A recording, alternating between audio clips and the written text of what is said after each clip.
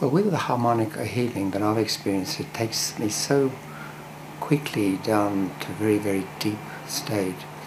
And what I find is that um, I stop thinking, and uh, afterwards I'm floating. I'm floating sometimes for an hour or so.